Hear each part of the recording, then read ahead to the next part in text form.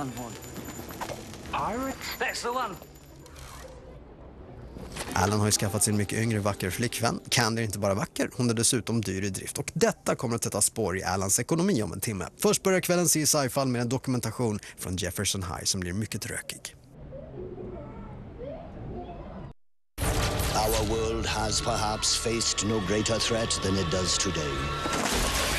These are dark times. I must be the one to kill Harry Potter. If it's true, you really don't stand a chance. Well, I suppose I'll have to kill him before he finds me then. Nobody else is going to die. Not for me. This is a whole lot bigger than that. Harry Potter och dödsrelikerna del 1 och 2. Fredag och lördag klockan 8 i kanal 5.